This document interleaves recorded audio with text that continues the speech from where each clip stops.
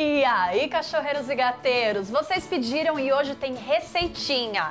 E essa receita é especial de verão, só pode ser dada em dias quentes. Vamos fazer um sorvete de ração em petisco.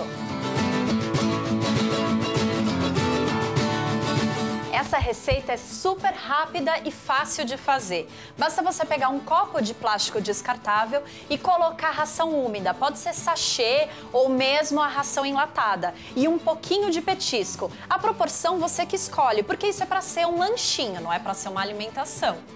E você vai colocar no congelador por uma hora. Se você não tiver copo de plástico, pode ser também essas forminhas de gelo.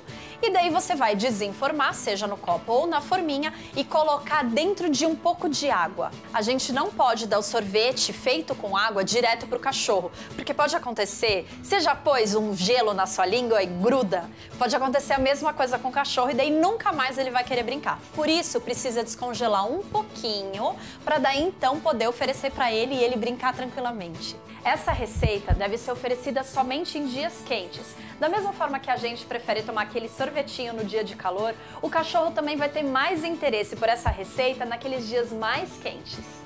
Essa receita também é ótima para aquele cachorro que não gosta muito de beber água, principalmente os lhasas, os shih tzus, que podem ter problema até de pedra nos rins. É uma ótima receita porque tem bastante água.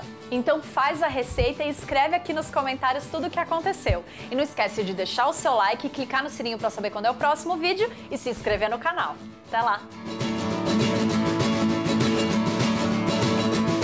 E não se esquece de se inscrever no canal.